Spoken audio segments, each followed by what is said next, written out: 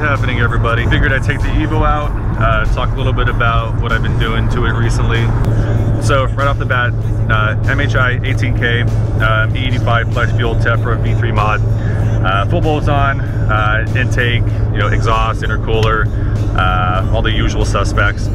On E85, uh, my tuner and I, we worked out three maps.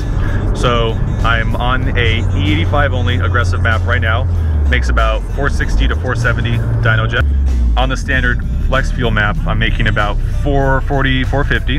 Um, and I can just, you know, pump in whatever 85, pump gas, and it's all good. Um, then I also have a track map that's on the conservative side, and that's maybe around 430 or so. Um, so turbo would absolutely recommend it for a street car. Um, it's great, full boost around 38, 3900 RPMs. Um, it pulls hard all the way to 7500. I've had no issues at all with the turbo. Uh, no issues with the E85 flex fuel. Uh, it's awesome. Highly recommend it. If you have E85 in your area, there's really no reason to not do it. Hey, Evo! What's up, dude? Little second gear pull.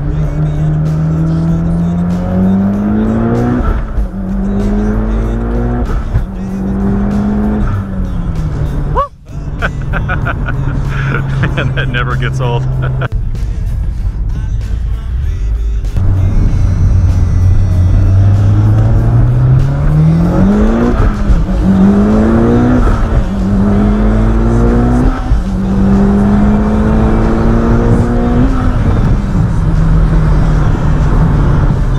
All right, guys, that's all I got for today. Peace.